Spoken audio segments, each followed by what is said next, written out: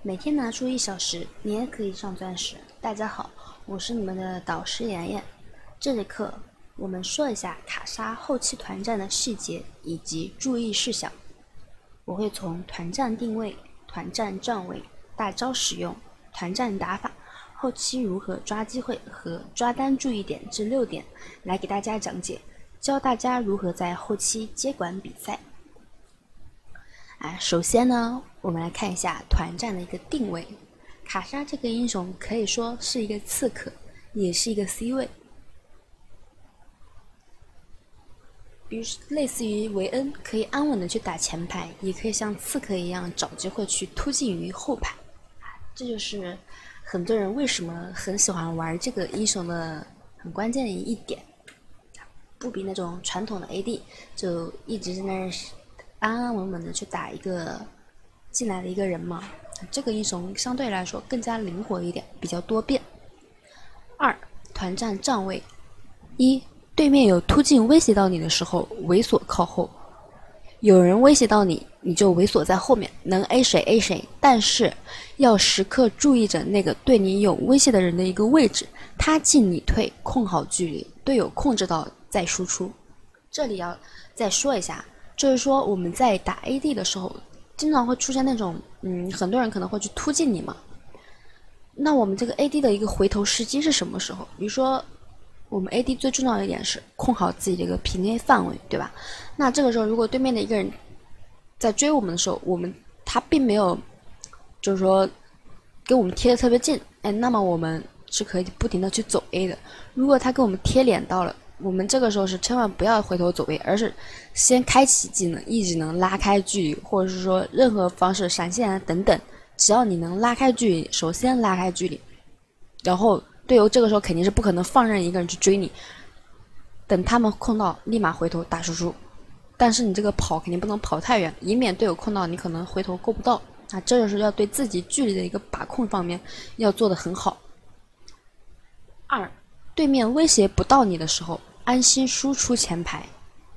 对面没有人能威胁到你，你就安心打输出。他这个英雄就是打肉也很快，打脆皮也很猛。所以说，如果他嗯没有什么人能威胁到你，你基本上是能怼谁怼谁。注意，但是注意对面后排的一个位置是否有机会配合队友，然后 R 上去去秒到对方后排。啊，这两点都有一个共同性，就是你的一个注意力啊，都是不仅在 A 眼前人的时候，你的一个注意余光。都是会瞟一下对面一个后排关键一个人，对啊，我比如说我现在在 A 前排 A 着 A 着，突然我注意到我方皇子突进到后排，立马一个 R 切到后排去，跟他一起把后排秒了，再和队友一起回过头来去杀这坨肉，他这就是呃我们在注意力方面的一点。啊，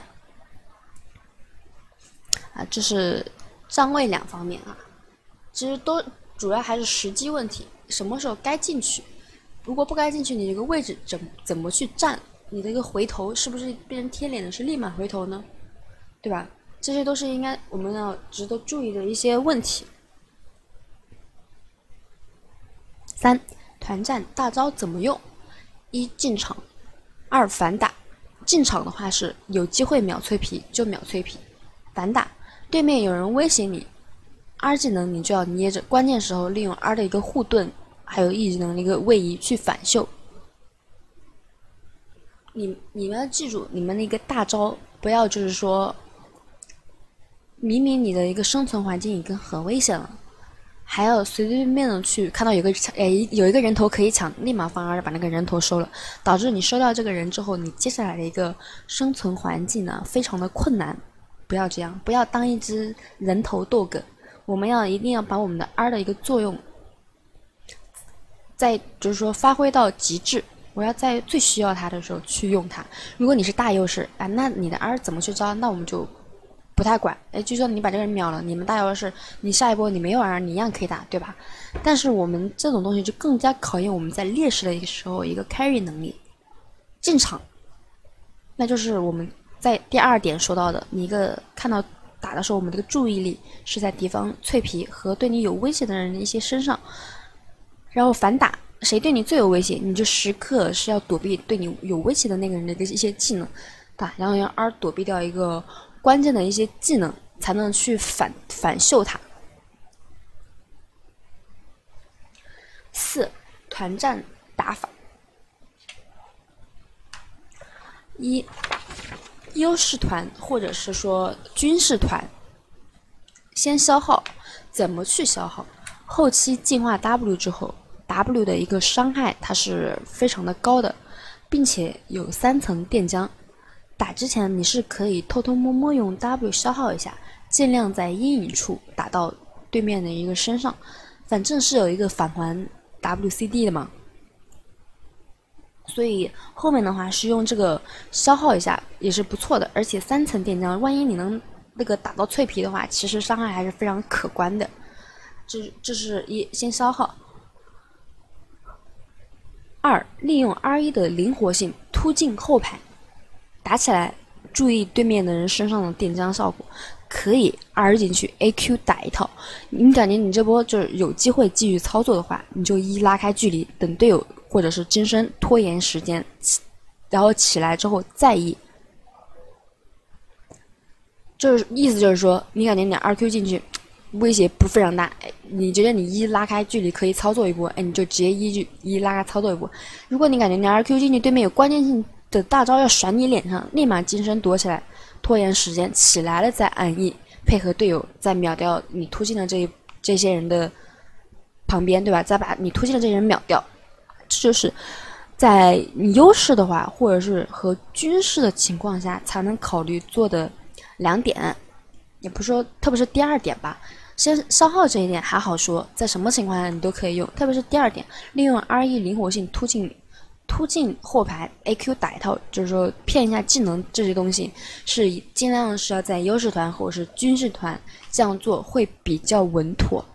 这里我们也来看一下素材。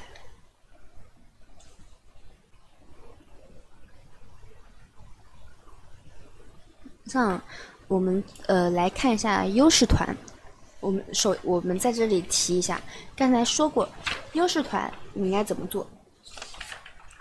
我们没有人威胁到你的时候，可能就是暂时去安稳的输出一个前排，用余光瞟到敌方后排是否有机会突进，配合队友突进到有一瞬间的机会直接 R 进去，配合队友收掉后排，再回头去打那些前排的那些肉啊之类的。再看一下这里这个视产视频，然后看到这里，我们这边一个卡特有呃贼勇猛的一个人冲到了人群当中，吸引了四个人的一个仇恨，然后瞬间残血，然后被敌方秒掉。这波我们少了一个人，但是因为我们这个优势还算是可以的，所以决定是继续去冲去冲进去的。呃，这里前排对方那个前排是有一个还算是挺顺的的一个刀妹，那这个时候我们肯定是。能 A 谁 A 谁，并且我们分析一下敌方的一个站位。好，刀妹在这儿，瞎子在这儿，风女在这儿，金克斯在这里，对吧？然后我们的一个皇子是在这一块的。然后我们首先能 A 刀妹，A 刀妹，然后瞎子突进过来，离我们最近，那我们肯定直接是输出瞎子，输出瞎子，然后看那个皇子，看皇子的一个位置，一个 EQ 踹，就是说。二到对方后排，我们明明我们前一秒还在 A 刀妹，但是因为我们的余光在瞟着这个皇子嘛，所以下一秒直接就突进到后面来，配合皇子杀掉这个瞎子和疯女，最后再收掉对面的一个金克斯，剩一个顺风刀妹也无也没有什么用了。咱们这个时候肯定就是直接就再回头杀掉这个唯一的一个顺风的人，对吧？这就是打团优势团，我们边。第一时间能打谁？第二时间注意力在谁身上？第三，哎，按 R 的一个时机，这是我们打优势团的一些 注意点。然后我们再来看一下这个军事团吧。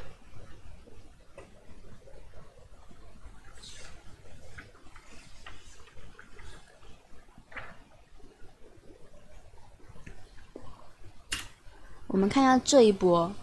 军事团是准备在这个小龙坑这里爆发一波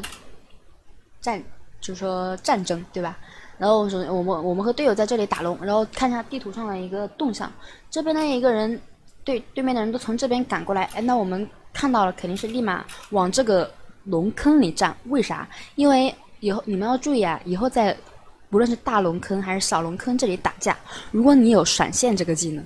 你感觉你这个位置很危险，你往这里往外跑也不是，往这儿跑的话也不是，往这儿跑可能就是说离队友太远，你输出跟不上。但是你在这儿站也很危险，那么你们尽量往龙坑里面站，这样万一局势不对，你闪现走就完事儿了。所以说我们在边打的时候边往里面靠近，然后看队友这边的一个动向。首先我们在优势或军事的时候，同同理都是第一时间看到一个能 A 到脆皮的情况下，先 A 脆皮。然后看到对面一个妖姬突进来，好收掉妖姬，然后 E 技能追上去 A 死他，然后突然发现抓到了一个残血的一个侠，那么我们直接 R 到他身后去把这个人收掉，然后再继续走为收掉剩下来的一个几个人。我们再回头来看一下这波团战我们站位的一个一个变化。先是 A 这个龙，然后对面的人都从左侧走过来，我们先把距离往里面拉一点，好，然后看一下我们最先能 A 到的一个人，最先能 A 到的是岩雀派克和马上突进来的一个妖姬，对，为什么这波要先 E？先啊，这波我是先 E 的隐身，因为注意到这波岩雀它的技能是，你看它技能什么的都已经是用了的。而且我们在这个位置，岩雀第一时间也不可能过打不到我们，所以我直接交易摘下我们这个攻击攻速，然后收掉这个人，然后再走位是到这个前排，余光瞟到这个侠，然后我们准备用 R 技能突进他。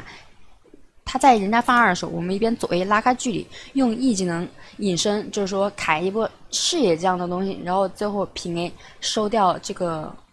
对面辅助的一个人头。啊这这把的话，团其实是一个军事团，从。人头也能看出，还有防御塔，你们也能也能看到，其实两边这个防御塔什么的都是都是差不多的啊，都是差不多的，人头比也是差不多的。但是就是这波小龙小龙的一个一波战争，给我拿到了这么多人头，那这把基本上是稳了的。就是就是说，这种团战的时候，你一个站位的调整和你放技能的一个时机，哎，第一时间 A 谁，第二时间 A 谁，二技能下一秒跨到谁身上，这就是。军事团，我们再往后看一下。劣势劣势团啊，我们接下来来看一下这个劣势的一个团战。一，我劣势，队友优势，那你就利用 R 技能跟队友一起突进，因为你队友都是劣势优势嘛，那就你是劣势。那你反正队友像像上把那个皇子，如果那把我是劣势的话，皇子突进，你直接 R 过去，配配合队友拿人头，他捡人头就完事儿了，以打脆皮为主，因为队友优势的话，他是肯定会突进的，那么你就用 R 技能跟他一起混人头，然后他们突进的人一般也是会选脆皮，那你这个时候能跟他一起混到人头，你再回过头回过头来打肉也无所谓，不然你劣势你一心怼着一个前排打，也没有什么意思。甚至你有可能打不动，所以这里就多配合队友去收后方脆皮的一个人头，反正队友是优势。二，我优势，队友劣势，那这的话就是你只能能打谁打打谁，千万不能觉得我这波进去可以秒到对方脆皮，然后你死了，绝对绝对不要这样，因为你优势，队友劣势，那说明对面优势的人有三个，就除了下路，对面优势的人有三个，而你们优势的人只有你和辅助，辅助还就不说了。所以，在只有你有优势的时候，你们最忌讳的是什么？不要用自己去跟别人去换。嗯，这个时候只有你一个人是优势，你跟别人换，你这波团肯定打不赢，因为大家队友都是没装备嘛，又比较废。那你一个唯一的一个优势人死了，或者是说跟对面的一个脆皮 AD 换了，别人只会觉得他赚了啊。我们这边的一个下等马跟对面的一个上等马给换掉了，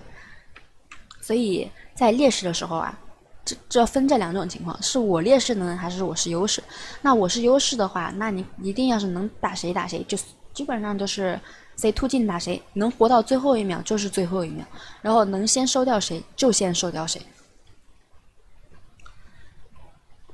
一个人切后排很容易被击过，因为大家都知道，呃，就你是优势嘛，那他们肯定就是说会去搞你，哎，就盯着你，啥技能都给你，不要那个时候。跟我说，哎呀，就我是优势，然后对面人老盯着我，其实也是一个实际问题。你你盯着你，那你就等他进来，你再去利用你的一个反应能力、意志能、闪现等等，去躲避他的一些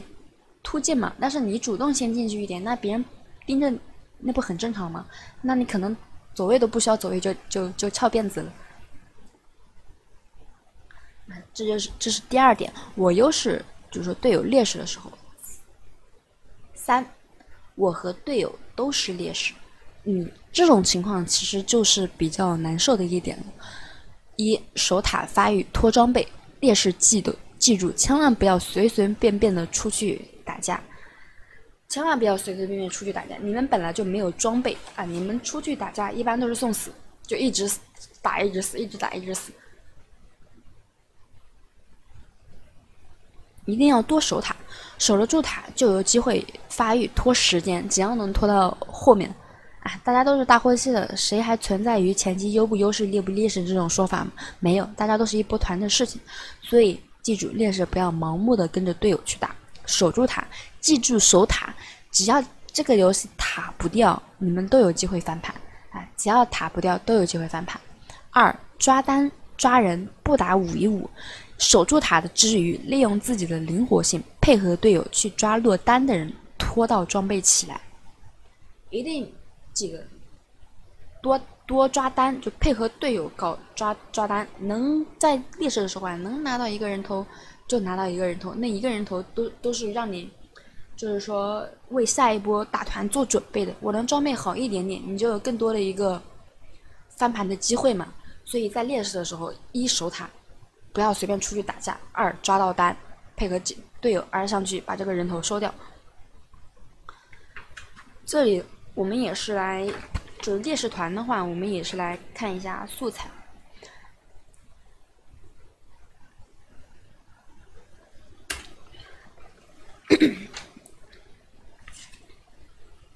我们先来看一下双方的一个阵容。那这这里虽然人头好像比对面多了两个，其实你们看一下我们的一个塔，我们这边只剩下一个高地。对面是三座，这个二塔全部在，所以说人头人头呀是这个游戏最虚浮的东西，只有塔才是真实存存在的。我们看一下这，呃，我们这边的是这个挖掘机、蛤蟆、武器、艾克还有卡莎。我们这边的人的一个特点就是手有那么一点短，跟别人贴脸的话可能比较厉害，就是挖掘机还有武器啊。还有蛤蟆跟别人贴脸比较厉害，然后对面这把的阵容是豹女船长，好像还有一个金克斯大眼睛吧，就是这种手非常的长，加上这个减速碗啊，阵容限制啊比较厉害的一点。其实这把的这把的一个打团非常的难受啊，那这把这个劣势团我们怎么来处理？我们来看一下，这里我们感觉到别人在打这个大龙啊。首先 W 探测一下视野，不要第一时间走进去。然后在这里，在边缘的位置先看一下对面大概人的一个位置。好，不要急着上去打输出。你看队友在旁边打架，但是我还是后撤了一下，因为我们看到这边有几个人干他衣服要过来干我们的一个样子嘛。所以说我们先后撤一下，看大概的一个位置。哎，突然发现这个金克斯落单了，立马走上去 AQ 输出对面的一个脆皮，然后。这个时候，距离我们最近的是这个船长，能 A 谁 A 谁，然后发现追不上了。这个时候千万不要冲动，不要二去追他，然后打离我们最近的这个剑魔，然后该交闪就闪现，直接交闪躲技能，然后回头一个 W 射到这个大眼睛 R 进来突进，然后把脆皮收掉，一个 E 拉开距离，再把这个豹女收掉，然后再去追击最后剩下来的这个船长。然后其实这波可以五杀，但是作为一个 AD，老是下意识的会去帮团队去 A 掉这个桶，你看，老是结果导致这个人头被这个队友给收掉了，所以这波只能拿个四杀。这也怪我有强迫症，看到桶子非常 A，因为有的时候嘛，A 桶这个东西，AD 的手稍微是要长一点的，你不 A 一波局势很可能被这个桶炸没了，所以说一定要注意。我们再来回头看一下这波团我们的一波决策问题，首先。中后期没有视野，对吧？立马往队友那边赶，感觉他们在打大龙，往他们那边赶，没有视野，先用 W 照一下，探测一下，看对面是是不是有会在草里阴我们。然后他们确实打起来了，跟在队友后面，然后不要第一时间上去输出，观察一下对方的人的一个站位，看小地图，金克斯在左边，大眼睛在这里，船长在这里，这里有三个人，说明左边有两个人。那么我们这边对我们比较有威胁的就是一个豹女和这个大眼睛，大眼睛伤害也是贼高。首先往往这里观察一下，然后突然看到一个落单的金克斯脆皮，立马 E 上去 A Q 一下收掉人头，然后 A 掉能 A 船长 A 船长，船长跑了，回头继续 A 离我们最近的，该闪该闪现时就闪现，闪现躲掉关键的一个大招，回头一个 W 再位移过来收掉对面的一个脆皮，然后 E 技能拉开距离躲掉豹女，就说让豹女第一时间打不到我们，最后再去追击跑得最快的一个船一个船长。那这样的话，我们本来只剩一个高地塔，啊，只剩一个高地了，啊，就是这波团战，但是就是因为我们上的一个时机很对，我们上的一个时机很对，和一个注意力很集中啊，余光又瞟，余光能找到这个金克斯的一个一瞬间，一上去把他 A 死，然后又能瞟到对面的一个大眼睛被我们 W 砸到了，那再 R 过去收人头，然后再 E 拉开躲开豹女的一个技能，对吧？所以一波局势因为中后期的一波团战。这里是这里是一波了，所以就一后期不就是一波团的事儿嘛？啊，一波团打得好就一波了，这就是劣势。劣势更重要的是什么？其实刚才回想一下，劣势它最重要的就是你的这个第一时间，你有没有注意到对面？首先你是要干嘛呢？我们来理一理这个思路啊。一，你首先在打的时候，你看一下对面的一个人人员的一个分布站位。哎，这边的人是对你有威胁一点，还是那边的人对你有威胁一点？然后对面的技能是不是交了？当然，我们做一个 AD，虽然话是这么说，说呃说是要等一等技能再上嘛，但是有没有想过，如果你等的太久，很有可能队友都死光了。所以说这个等待不宜太久，而是至少是这一秒钟，这个人刚刚把这个技能交了，我这一秒可能就可以出去打这个人的，就是这段时间可以打他一下。像帮你技能交了，我可以这段时间就立马上去。他 Q 一交，我可能上去 A 一下，然后注意到那个有人落落单，立马隐身上去把那个人收掉，然后能 A 谁 A 谁，对吧？A 的这个人跑了，不要强行去追。有的时候我发现你们就有这样的一个毛病，就是我在 A 这个人，我快把这个人 A 死了，不行不行，这个人跑了，我要二上二上去把这个把这个我一直在 A 的这人收掉才行，不然我做一个强迫症很难受。千万不要这样，我。碰到好多次，你们打一个人的时候，特别是这个人还有一点小肉，你 A 了 N 多下，最后发现不行啊，我都打了这么多下了，他还闪现了，就一丝血，我还是把他收了吧。那这个 R 进去，人家可能有什么金身呐，闪又有队友的一个保护护盾啊等等，导致你 R 进去没收掉，完了，然后你就死，那一波团局势肯定就不一样。所以说，在特别是劣势的时候，你们不要急，掌握好上的一个时间和利用隐身这个特点。看能不能一瞬间拖到残血，然后再上去收割，然后再利用你的一个电浆和队友打出来的一个电浆啊，R 到关键人身边去收下这个人 E 技能等等，是吧？用平 A 然后减下 E 技能的 CD，又可以打第二波的一个 E，最后打赢一波团战。劣势就是反应的话要比优势要更快一点，想的更快一点。这就是劣势团上的一些处理吧。和注意的一个些，然后我们再来看一下第五点，如何抓机会。一，利用以多打少。卡莎比其他的 AD 它更好的一点是在于一个二技能的支援，所以中后期多利用 R 支援到队友身边，完成一个以多打少。二，抓单开团，确保自己。打得过对面脆皮的一个情况，卡在视野阴影处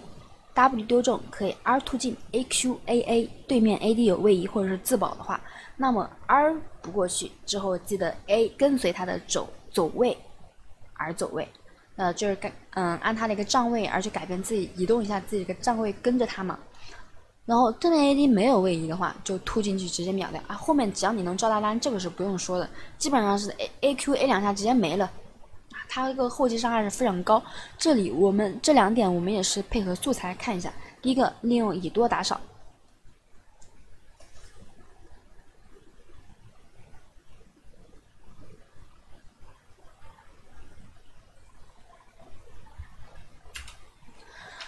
劣势要记住，劣势是什么？我们劣势说明了我们五 v 五可能会比较难打，所以劣势的关键点，以多打少。只要你们能秒掉一个人，那么就瞬瞬间把他秒掉，不要去呃省技能之类的，直接把他秒了。那这样你本来就是劣势，你们让对面少一个人，你们下一步就会好打很多。上这里，我们看一下这个我们再来继续观察一下上面的一个情况。我们两边的兵线比较差，人头比也落了八个。然后对面最顺的人是人是这个阿卡丽，给你们看一下这个阿卡丽的一个伤害，同样是十五级。这个一瞬间，好，瞬间残血，这阿卡丽是最顺的一个人。我们首先是能 A 谁 A 谁，对吧？然后一般如果现在是优势团的话，我肯定会跟你们说，啊，这个 R 就不用随随便便浪费了，队友马上就会追过去了。所以说不要急，二技能留到下一波。但是不劣势的时候，一定要想的是，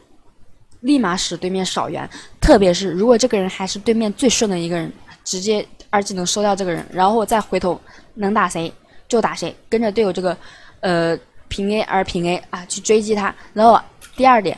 你们在越塔的时候和追击的时候不要上头。就比如说啊，哇，这波打赢了耶，我不要追着追着追到塔下去，然后有可能被文一个一闪一到墙上呢。没有什么是不可能的，你当你觉得不可能的时候，如果你实际上这样去做了，可能真的就发生了。所以像这里，哎，我们杀了两个最顺的人，呃，不说两个最顺的嘛，最顺的阿卡丽，然后剩下这个韦恩，这韦恩还想回头打。你看我们在 A 的时候，一边 A 一边往后拉了一下，然后永远不进塔，就在这个塔外的这个位置去 A 他俩，就是说不会上头，然后直接这波拿掉了一个四杀。然后我们刚才也给你们分析了一下我们这个地图上的一个局势。兵线很差，说明我这我们这把真的是不是优势，而且人头比特别的，就是差了八个。还有我的战绩，其实跟我比较熟的学员都知道，我玩 AD 一般都是那种非常谨慎的那种。如果整个局势不对，我肯定是死的最少的那个。所以这把我都是负战绩，可想而知这把的局势是很艰难。但是。我们在对线的时候，肯定是要保证自己还是有一定优势的嘛。所以说，这个维恩他的装备肯定是没有咱们好的。那打的时候就是，哎，能瞬间秒谁秒谁，一定一定要不要放走这个优势的人啊。后面就是，就算杀了一个最顺的人，也不要膨胀啊，也不要膨胀到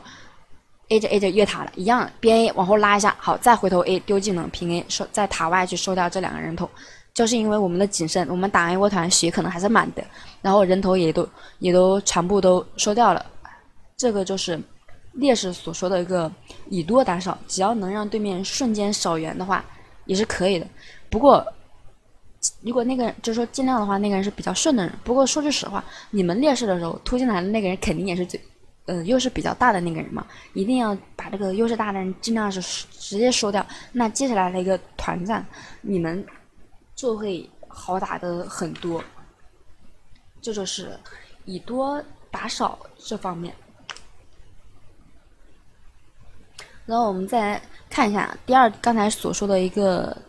第二点，就是抓单抓单就是突然有个人走位失误抓到他了，或者说这个人位置跟队友对他的队友站太远了。这里我们也来看一下一个缩彩。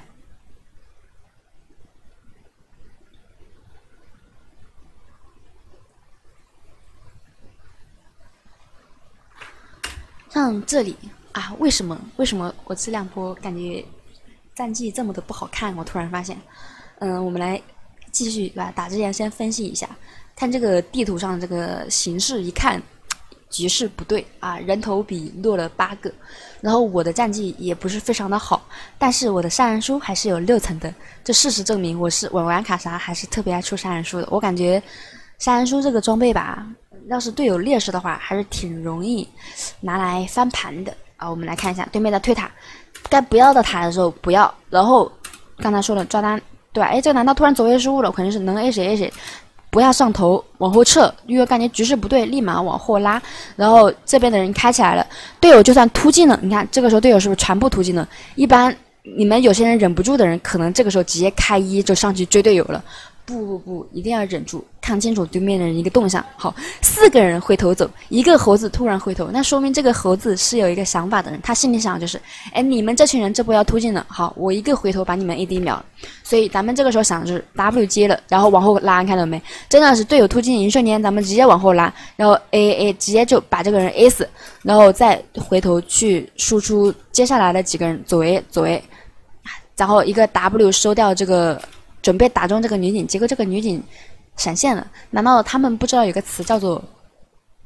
“唇亡齿寒”吗？对吧？你让他，你让我的 W 射中你的男刀，那你下一秒肯定也是要死的。那这波又是劣势，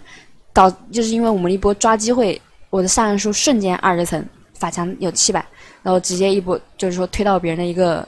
高地可以一波了啊！明明前一秒钟啊，明明前一秒钟我们这个局势被别人压过来了，后一秒钟直接就推到别人家一波了，可可想而知，团战啊，在后期他一波团你的一个发挥对整个局势是有多么大的一个影响。很多人他打 ID 老是跟我说，团战对面人老突我，是不是这个猴子吧？那老突我一下子把我秒了，烦死了，我都。怎么怎么怎么样？队友都保不住我，队友全部突进都不管我。你看这皇子申刚颖天天往里面突，压根儿都不管我嘛。我打团怎么办？我能怎么办？我也很绝望啊。所以有些东西队友不管你，我们的自己的一个意识要到位，对吧？就是说，这就是我们团战的一个处理。立立马得想到对方在想什么啊！队友一瞬间突进了，这不这不就是你们口中常说的队友天天冲进去，压根儿没人管我吗？看这个奶妈冲的比我还快，奶妈都冲进去了，然后导致他自己都被突了。你想一下，这波如果咱俩也跟皇子一起突，估计在我们这个位置在奶妈旁边都被突到了，这就很不应该。所以说，这从这里就能看出打团的一个站位啊。我我们先首先是知道对方的一个想法，直接就在对面突进的一瞬间往后站。嗯。从奶妈的站位能看出，这个人脑子里当时并没有想到对面的人可能会突他，但其实这个人确实也是突我，但是还是把他给撞到了嘛。哎，这就是传说中的孤立无援。小法站在这里往前跑，奶妈站在这里往前跑，然后这个也往前跑，这个也往前跑，就我们一个人在后面，这不就是传说中的没有人管你吗？啊，同理，所以说没有人管你，你就需要自己去。找一个输出的上的一个时机啊，输出完对你最有一个威胁的人，那最有威胁就是刚才那个猴子，再回头去收近战啊，然后再 R 技能留到最后收掉对面剩下来的一个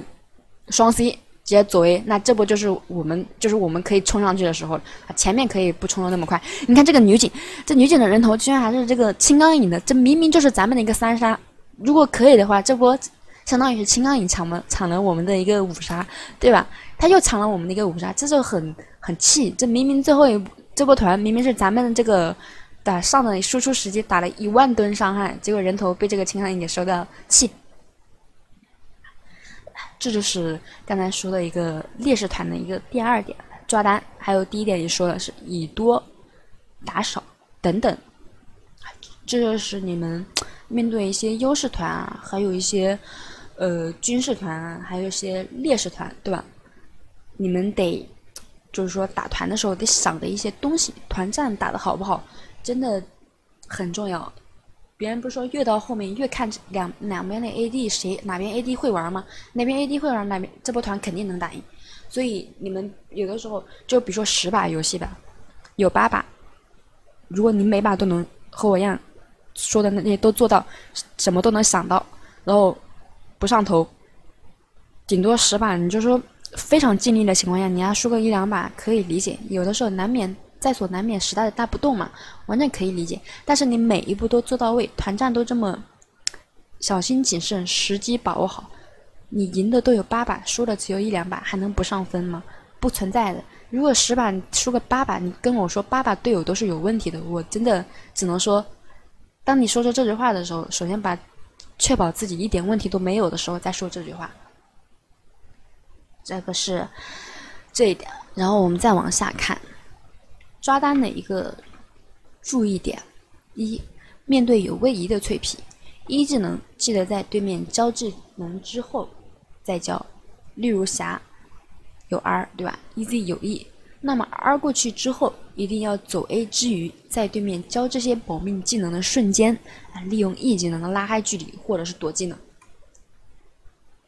就是说，你的技能不要一次性全部交了，不要一啊、二啊全甩的。打这种有位移的，你肯定是有一个技能是用来接近他交位移吧。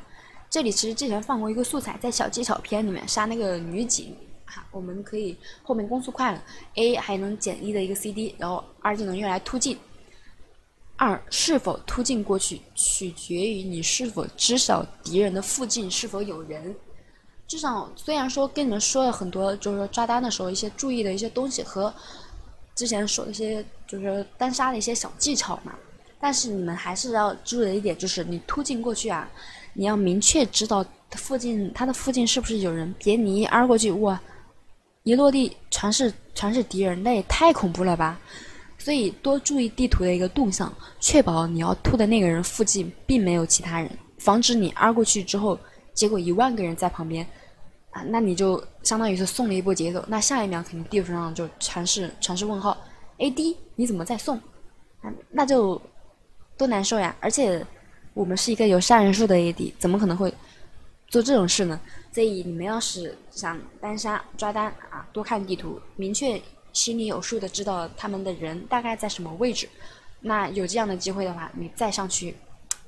就说杀他，肯定是可以的。好的，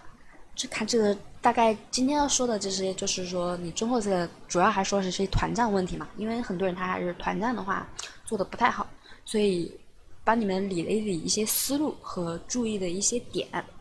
然后卡莎的一些这些专精课的话就告一段落了。希望大家看完课程后多去实战中练习，灵活运用我们说到的技巧，多注意关键点，将学到的一些东西转化为自己的理解和打法。我们下次再见。